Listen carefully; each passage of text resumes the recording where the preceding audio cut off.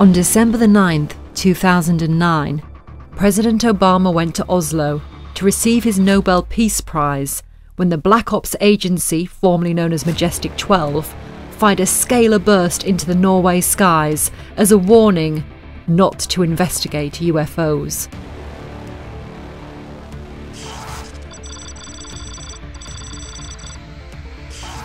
So did you look? Did you see? Did you explore? I, I, I can't reveal anything. oh, really?